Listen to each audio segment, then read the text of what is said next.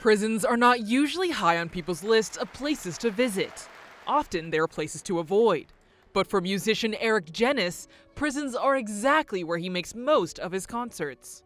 If you ever want to cry, we can talk about stories of their lives on death row and their lives previous to being incarcerated.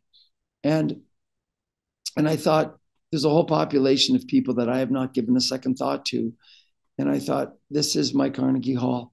Genuis says once he realized the true impact music can have on people's lives, he was determined to bring it to those whose society has forgotten or deemed unworthy. I'm not one of these guys that goes into prisons because I want to entertain them. I want to remind them of their humanity in a way beauty can do. But when you expose someone to beauty, it bypasses the brain and it cuts right through all the pain. It cuts right to the soul. It goes it cuts through all the history all the the neglect. It cuts through all the betrayal all the hurt all the walls. He has played more than 1000 shows in prisons. Through his initiative called concerts for hope. Many of the prisoners have shared how the concerts have changed them.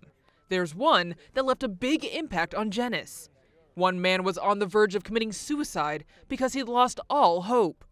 And and so he said, my cellmate said, "Come and see this concert." He said, "I don't want to hear some guy sing Jingle Bells," and he said, "I don't think this guy's going to sing Jingle Bells," you know. so, so, he came to the concert, and um, and he said, "You gave me so much hope." He said, "I just hung on to that concert for the for the next for the rest of my sentence." I'm out. You'll never hear from me again. I will do well.